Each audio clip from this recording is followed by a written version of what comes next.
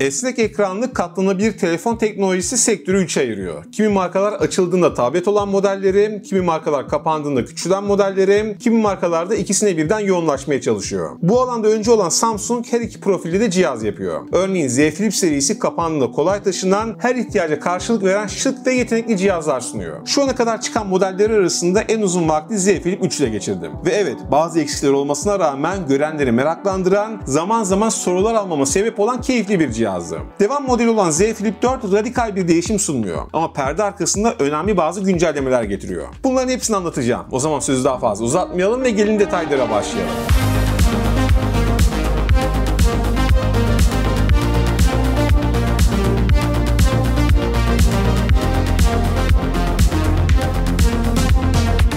Samsung endüstriyel tasarım dilinde büyük bir değişim yapmamış. Ama bu hiçbir şeyin değişmediği anlamına da gelmiyor. Telefonu daha rafine, belki daha dayanıklı kılacak bazı müdahalelerde bulunulmuş. Örneğin menteşe sistemi küçültülmüş ve önceki jenerasyona göre dışarıdan daha az belirgin olması sağlanmış. Üstelik buna ek olarak büyük ekranın çerçeveleri tıraşlanmış. Bu sayede kozmetik olarak daha estetik bir görüntü yakalanmış. Telefonu mümkün olduğu kadar dayanıklı kılmak isteyen Samsung, cihazın cam olan arka kısmında en güçlü koruma teknolojisini Gorilla Glass Victus Plus'ı kullanmış. Aynı zamanda Armor sınıfı alüminyum çerçeveler ve çevresel etkilere karşı rakiplerinde olmayan IPX8 sertifikası ile birlikte kendi segmentindeki en dayanıklı, mukavemeti, direnci en yüksek cihaz gibi de düşünülebilir. Kapalıyken 17.1 mm, açıldığında ise 6.9 mm kalınlığı olan telefon 187 gramlık ağırlıkla geliyor. 4 farklı renk seçeneği olan cihazı özellikle mavi ve mor rengi beğendim. Gerçekten göz alıcı görünüyorlar. Yalnız bu beğeni diğerleri kötü olduğu için değil. Diğer renkler olan siyah ve altın sektörde zaten yaygın olarak kullanılan aşina olduğumuz renkler. Ama mavi ve mor gerçekten sıra dışı, gerçekten havalı görünüyor.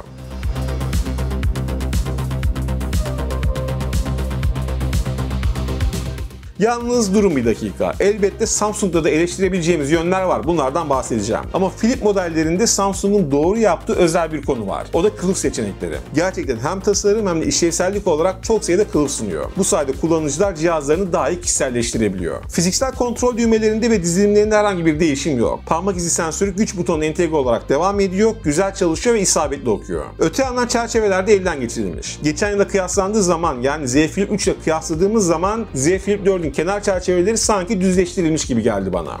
Telefonun tutuş ergonomisi güzel. Kapalıyken tek elle kullanması rahat. Ancak küçük ekran yani dış ekran evet geçen yıla kıyaslandığı zaman daha işlevsel olsa bile bence çok daha fazlasını yapabilmeliymiş. Zira Z Flip 3'ü hackleyerek ana ekranın uygulama çekmecesi koyabilmiştim. Bence Samsung büyük ekranda sunabildiği pek çok özelliğim küçük ekranda getirebilmeli. Bu sayede telefon daha işlevsel ve verimli de çalışabilir. Bakalım bir sonraki jenerasyonda belki böyle bir adım da göreceğiz. Ama şimdilik Z Flip 4'ün dış ekranı yani küçük ekranım daha fazla fonksiyona sahip Z Flip 3'ten daha verimli kullanılabiliyor ama beklediğim kadar da ileri seviyede yazılım yeniliği ya da yeni yazılım fonksiyonları sunmuyor şimdilik. Belki yazılım güncellemesiyle de gelir. Bekleyeceğiz ama şu aşamada bence daha fazlası olmalı diye düşünüyorum.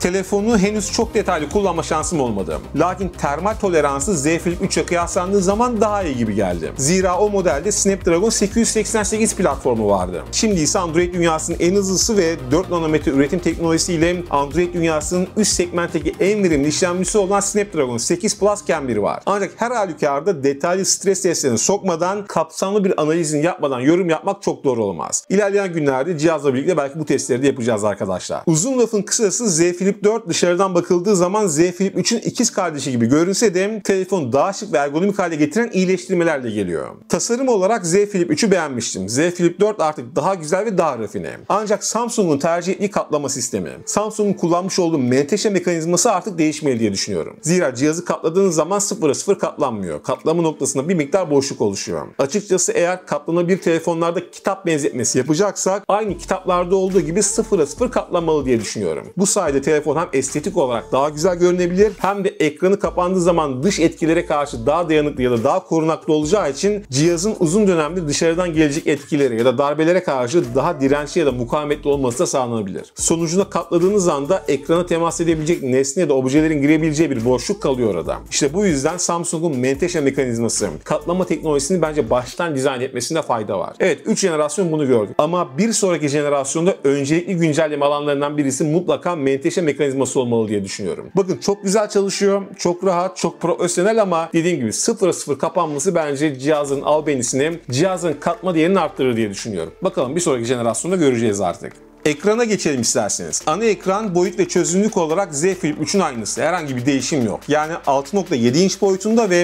2640'a 1080 piksel çözünürlüğünde. Uzun ve dar yapısı ile 22'ye 9 görüntü oranına sahip olan telefon 120 Hz adaptif yenileme hızını destekleyebiliyor. Dolayısıyla ekranda uygulanan algoritma yardımı ile ekranın yenileme hızı 1 Hz ile 120 Hz arasında dinamik olarak telefon tarafından otomatik olarak kontrol edilebiliyor. Gerek renk üretimi gerekse de parlaklığı ve görüş açıları iyi olan ekran leke göstermemesi, parmak izi tutmaması olması adına mat olarak dizayn edilmiş. Tabii tüm bunların dışında daha önemli bir detay var. Ekran katlama noktasını belli ediyor mu? Kullanırken bunu hissediyor musunuz? Açıkçası şunu söyleyebilirim. Kullanılan teknolojinin doğası gereği. Yani esnek ekranların yapısı gereği katlama noktasına buruşma efekti oluyor. Burada sorulması gereken doğru soru şu. Bu efekt ne kadar görünüyor, ne kadar hissediliyor? Z Flip 4 için şunu söyleyebilirim. Belli renklerde ve belli açılardan bakıldığı zaman buruşma efektini görebiliyor, belli kullanım şekillerinde bunu hissedebiliyorsunuz da. Ama Selefi ile Z Flip 3 ile kıyaslamam gerekirse gerekirse hem görünürlüğü hem de kullanım esnasındaki dokunma hissiyatı daha az. Dolayısıyla bu alanda belli bir gelişim var ama dediğim gibi esnek ekranların doğası, kullanılan teknolojinin yapısı gereği katlanma çizgisinde buruşma efektini çoğu telefonda görebiliyorsunuz. Burada firmaların yarışı daha az gösterme. Kullanırken parmağınız ekranın o kısmına geldiği zaman daha az hissettirme yönde gerçekleşiyor.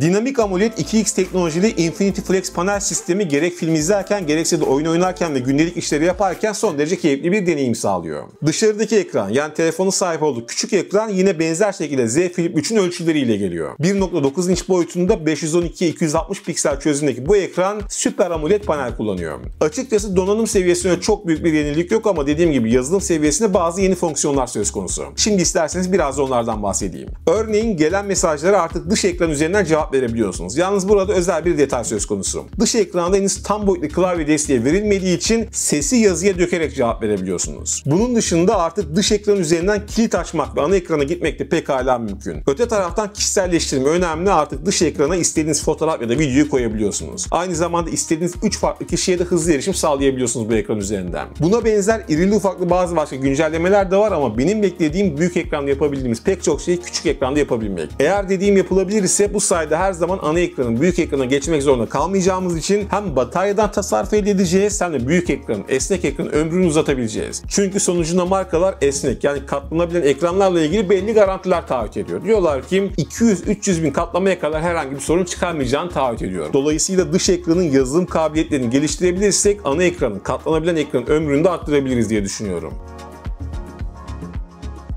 Performans güncellemeleri önemli. Android dünyasındaki en hızlı işlemciye Snapdragon 8 Plus Gen 1'e sahip olan Z Flip 4 tek bir RAM opsiyonu 8 GB Low Power DDR5X bellekle geliyor. Depolama tarafında ise 3 farklı seçenek var. 128, 256 ve 512 GB. Ne güzel ki depolama çiplerinin tamamı UFS 3.1 depolama standartını kullanıyor. Dolayısıyla hem bellek teknolojisi hem de depolama teknolojisi yüksek performanslı işlemciye adapte olabiliyor. Onun ahengine iyi uyum sağlayabiliyor. Zaten gerek Samsung'un gerekse de Android dünyasının amiral gemisi olabileceğimizi diyebileceğimiz üst seviye telefonlarından beklediğimiz donanım özellikleri de bunlar. Olmaması tuhaf olurdu açıkçası. Z Flip 4 çok iyi. Son derece akıcı bir deneyim sağlıyor ama bunu sağlarken sadece donanım mimarisine güvenmiyor. Yazılım optimizasyonu önemli. Ve esnek ekrana adapte edilmiş UI arayüzü bu donanım mimarisi üzerinde gerçekten keyifli ve güzel çalışıyor. Yalnız burada hoşuma giden bir detay var. Samsung geçen sene yaptığı hatayı bu sene tekrarlamamış. Neydi o hata? Z Flip 3 Snapdragon 888 platformu ile geliyordu. 888 son derece hızlı bir işlemciydi. Son derece derece iyi bir işlem platformuydu. Bunda herhangi bir soru işareti yok. Ama Z Flip 3'ün çıktığı dönemde Snapdragon 888 Plus da vardı. Ve Samsung gerek Z Flip 3 gerekse de Z Fold 3'te Snapdragon 888 Plus'ı kullanamamıştı.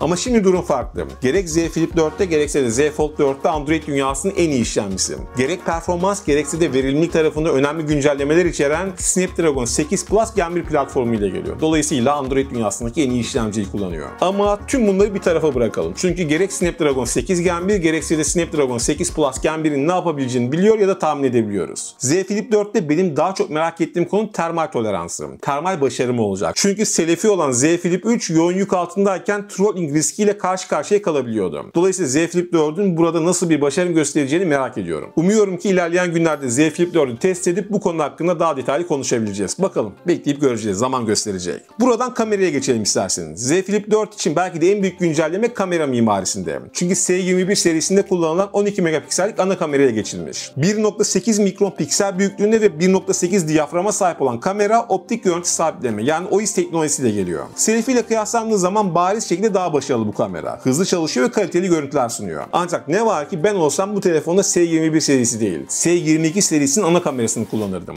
Evet belki S22 Ultra değil ama S22'nin ana kamerası donanım ve yazılım seviyesine birebir bu telefona taşınabilirmiş. Çünkü katlanabilir cihazlar şu anda premium cihazlar, vitrin cihazları. Dolayısıyla eldeki en iyi teknolojilerin bu cihazın üzerine sergilenmesi gerekiyor. Ama Samsung tarafı örneğin kamera tarafından sahip olduğu en iyi kamera mimarisini Z Flip 4 ya da Z Fold 4'te kullanmıyor. Aranızda merak edenler var mı bilmiyorum ama bu telefon 8K video kaydı yapamıyor. Örneğin Z Fold 4 yapıyordu fakat Flip 4'te bu bulunmuyor çünkü ana kameranın sensörü 12 megapiksel olduğu için zaten sensör çözünürlük anlamında 8K'ya çıkamıyor. Ama 4K'da 60 FPS video kaydı gerçekleştirebiliyor. Aynı zamanda HDR10 Plus video kayıtları da yapıyor.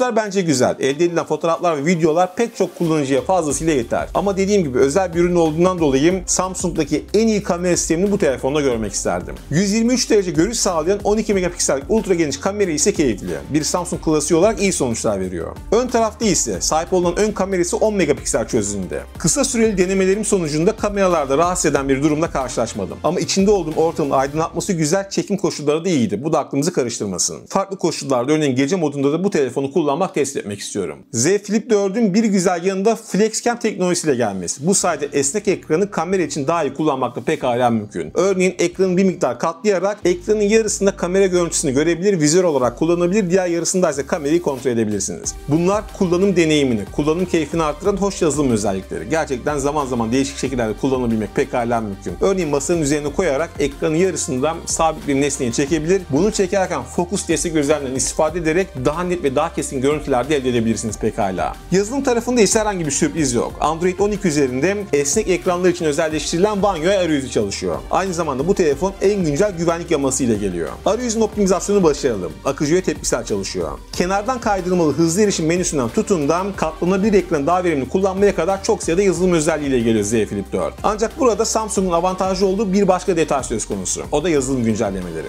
Çünkü rakipleriyle kıyaslandığı zaman hem güncelleme verme hızı hem de güncelleme verme süresi anlamında iddialı görünüyor. Örneğin pek çok rakibi 3 yıllık Android güncellemesini taahhüt ederken Samsung daha fazlasını sunabiliyor. Bu bağlamda Google'ın kendi ürün gamı olan piksellerle yarışını bile söyleyebiliriz yer yer. En azından üst seviye telefonları için. Yani Samsung'un son dönemde Android ekosistemi içerisinde belki de öne çıkan ya da öne çıkmaya başlayan en önemli avantajlarından birisi yazılım güncelleme politikası gibi duruyor. Biraz da diğer özelliklere bakalım isterseniz. Telefonun sahip olduğu stereo ses sistemi keyifli. Belki bir miktar daha bas olabilirdi. Kablosuz bağlantı tarafında en yeni standartları destekliyor. 5G var, Bluetooth 5.2 var, Wi-Fi 6E var. Yani güncel standartların tamamı bu telefon tarafından destekleniyor, çalıştırılabiliyor. Önemli güncellemelerden biri de pil tarafında. Z Flip 3'ün zayıf yanlarından birisi pil performansının çok iyi olmamasıydı. Bu telefonda ise pil performansına yönelik bazı dokunuşlar var. Örneğin batarya kapasitesi 3300 mAh'den 3700 mAh'e yükseltilmiş. Aynı zamanda tabi daha verimli donanım mimarisine sahip olduğu için daha uzun saatler çalışabileceğini söylüyor Samsung. Ama tabii ki detaylı bir şekilde test etmem gerekiyor. Diğer taraftan pil söz konusu olduğu zaman sadece batarya kapasitesi değil, şarj performansı da önemli. Z Flip 4 25 Watt kablolu, 15 Watt kablosuz ve 4.5 Watt'la kablosuz ters şarj yapabiliyor. Bunlar günümüz standartlarında rekabetçi olmayan değerler. Bugün Android dünyasında 125 Watt hızlı şarj yapabilen telefonlar var. Hatta bazı firmalar 200 Watt üzerine çalışıyor. Telefonun Z Flip 4'ün irili ufaklı çok sayıda özelliği var. Ama bu ilk izlenim videosundan dikkatimi çeken ilk detayları paylaşmaya çalıştım. Açıkçası kompakt boyutu, ayna kutusunu andıran daha rafine tasarımı ve Android dünyasının en güçlü işlemcisiyle gerçekten dolu bir telefon olmuş. Ha selifi olan Z Flip 3'e göre öyle radikal bir telefon olmasa bile daha rafine, daha güçlü ve daha verimli bir cihaz yapmayı başarmış Samsung. Tabii ki fiyatı ve pazardaki tepkileri takip edeceğiz. İlerleyen zamanlarda belki daha detaylı bir videosunu çekeceğiz. Sevgili arkadaşlar sosyal medyada beni takip etmek isterseniz Twitter ve Instagram'da Erdi Özağım ya da FX57 yazarak bana ulaşabilir, arzu ederseniz takip edebilirsiniz. Bir başka videoda görüşene kadar şimdilik hoşçakalın ve lütfen kendinize çok iyi bakın. Görüşmek üzere.